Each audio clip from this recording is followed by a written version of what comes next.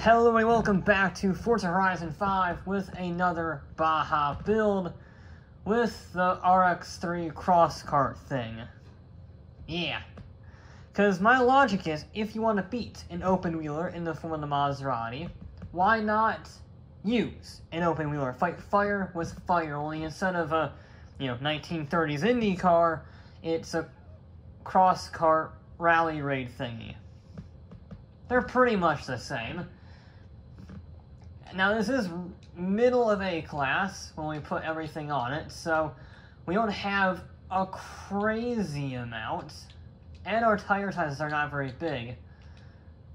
Man, didn't say? No, that was only two four fives. Okay, I thought it said three four fives for a second. I was like, holy cow. We also can't do very much in terms of that, so we might as well I, I, guess just put all this on. There's not really much room for upgrades, as it turns out. We also have no aero, which is not ideal. And we are and the stock engine is not powerful. It is powerful enough, but it's pretty much maxed out. So I do that, and then that. There we go. Okay. Can we sneak anything else on? No. Okay. So that is our build. It's not very powerful at all. However, it weighs just 1,000 pounds. 270 horsepower and 1,000 pounds is not bad. And it has more aero than the Maserati. I have no clue how this is going to go. There's only one way to find out, though. Okay, we are here at our racetrack, still trying to beat the Maserati 226.4. This is unknown territory. We've never had anything like this before. It has had some gear ratio tweaks just to give it a chance of a higher top speed, although it's still not very impressive. I don't know if we'll reach it because the gears are so crazy short. We're gonna give it a go. It does have some advantages, mainly the fact that it's lighter than a Pebble, However, it also has some disadvantages, mainly no front aero, and I'm not expecting it to be very fast in a straight line. But I also have no clue how it's going to handle the bumps, because it is so light it might just get bounced around.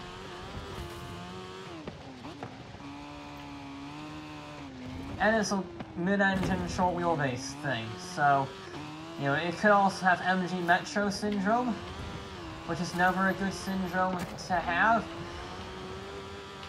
but we shall see. We've never had a vehicle like this before. The closest we've had is probably the Bronco R, although that's just because that's an off-road vehicle, like this one, albeit very different styles. Chucking a little sideways, that was actually a good line through there. We carried a lot of speed. That was a surprisingly good line, completely, I mean, intentionally, completely, well, that's a technique. I was expecting a little slide in the back end, just swung around. Yep, it's got MG Metro syndrome. It's definitely got the Metro syndrome. if you're not aware, the 6R4, the Metro rally car from Group B, very short wheelbase, notorious for being difficult to manage. And yeah, this thing, it's a similar boat. Okay, we're away off course. Luckily, we sort of stopped dead there on the landing, so we didn't go too far off course. It's not going to be, I mean, it's not a great lap time, let's put it that way. But it's not the worst. So, uh, I will say, I don't really feel very confident with this vehicle. I know it's the first run, and there have been numerous examples in this series so far where the first two runs have been awful, I don't like them, and then the third run just blows everything out of the water. The Porsche Taycan comes to mind that I hated how that vehicle drove. It was about 10 seconds off the pace near enough. And if you look at it now, it's second on the board. I turned in too early. I'm, I'm, it's also, I'm probably not that concentrated right now. I need to get in the zone. But, um, yes just because a vehicle sucks on the first two runs does it sucks completely. I've learned that now. And this has an awful lot of acceleration. If I can use it without going all over the place, which I might not.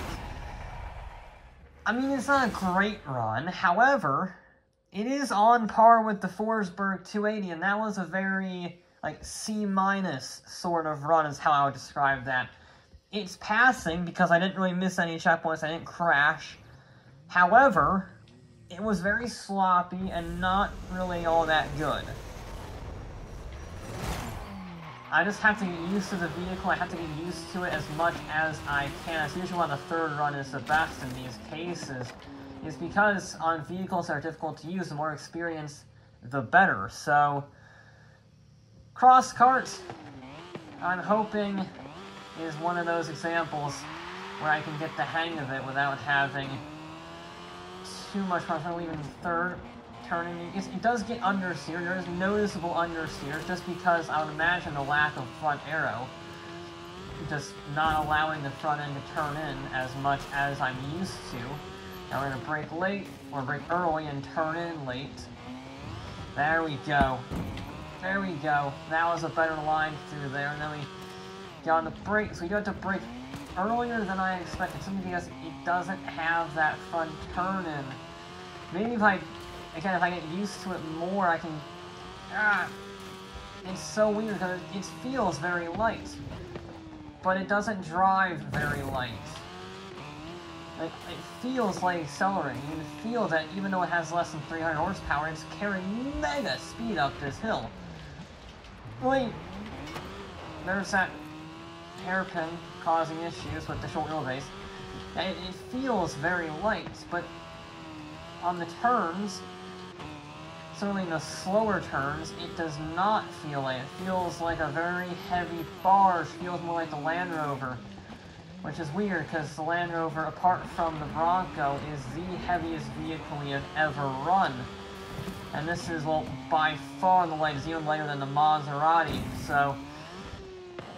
I'm not so sure. I don't think this is going to beat the Maserati, just based on front-end grip, but bear in mind, the Maserati also did not have aero at all. It had no aero, no front, no rear. So, I say so uh, a lot. This section really hurts it. The rocks, normally not a problem for vehicles, but in a vehicle this light and with this much understeer, in a section that requires precision like that, it does hurt it. It does feel like it's getting slowed down by the rocks. If all of a sudden those rocks are not a problem, but in this case, the foliage weighs almost as much as the car in some cases, I'm willing to bet. That makes a difference. I didn't think about that when I first started off, but yeah, driving the vehicle, that makes sense. Regardless, this is going to be a better run. Okay. It is going to be a better run once I don't do that like an idiot. And I, I think there's definite room for improvement. Don't go that way. It's just a matter of, can I get used to the car? Can I get it right? Oh. You see what I mean about the whole not doesn't feel fast, but it actually is.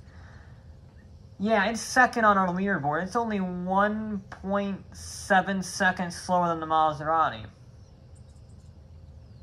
If I get a perfect run, absolutely spotless with this vehicle, I might just be able to do that. But that's a big if. It's already second on our leaderboard, but um, that does mean I have to shave off 1.7 seconds. Which is a lot. That pretty much means going as hard as I can, yet as smooth as I can all at the same time. That's no easy feat. So let's make sure I get the timing right. There we go. You got the launch spot on, and I didn't get the launch right the first time. I also, you get my gears spot on to get the maximum acceleration. If I'm going to go for that record, I really have to beat it, because that Maserati third run, I will be honest, was pretty much flawless in my book. There we go. Maybe I should have left it in third. I don't really know. Just use the handbrake a little bit there to get that front end turn. This does not have the same front end grip as the Mazda. I think the Mazda I did have bigger tires. And of course it had the engine in the front, so it had the weight pushing down on it, if nothing else. And then we carried mega speed through there. That was really good. We got the we got the line perfect. And we got the line through the hairpin much better. Use that uh, Metro Syndrome to our advantage. Try and get that front turn as quickly as possible by using the short wheelbase. I've always said as a disadvantage, use it as an advantage. And brake late because of the lightweight.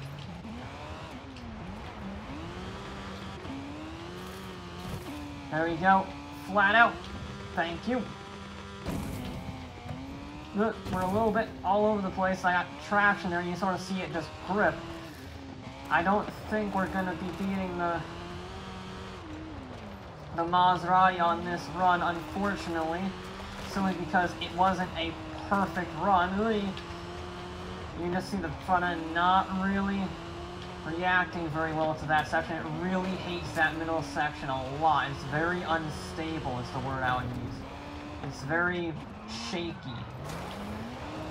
And it's also not very great on here simply because there's debris. There's stuff in the way, and it doesn't like that. It struggles to deal with that because it is so heavy, so you do actually have to follow the course 100%, or else you're going to get slowed down because it doesn't have the weight behind it.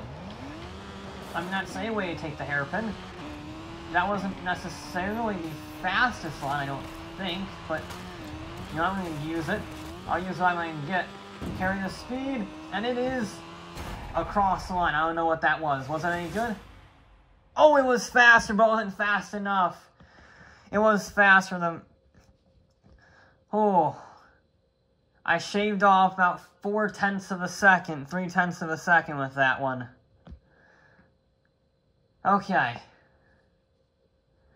Oh, 227.8. That Maserati is proving to be a very tough benchmark, but the Sierra came close. It's the closest anything's ever come, and yet saying that, it is still 1.4 seconds slower than the Maserati. It's a, almost a second clear, about six tenths of a second to be more specific, clear of the Datsun.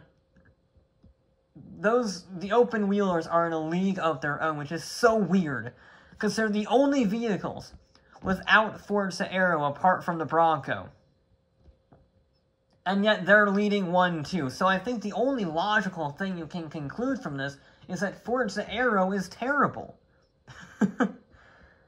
no, I, I think it's just the vehicles and their sheer grip and smoothness. If you can get these vehicles to be smooth, they're just unbeatable. And I think the lightweight helps, because both these vehicles are less than 2,000 pounds, and no other vehicle on this list, short of the roly-poly Renault, is sub 2,000 pounds. So that does have a key element, is that as long you can carry the speed more and more. This definitely loses out to the Maserati because it doesn't have the front end turn-in. However, it's 300 plus pounds lighter than the Maserati with 100 less horsepower. So the power weight ratio is similar, probably leaning towards the Sierra, but the Sierra does have rear aero, which probably helps it a bit more and sort of balances out the power disparity. Either way, it's another example of a car I'm not really a big fan of, and yet it's done very well. So it joins the ranks of the Maserati and the Porsche Taycan as vehicles that I'm not a big fan of to drive, but are bloody fast. Anyway, that'll be it for this episode of Forza Horizon 5. I'll be back with more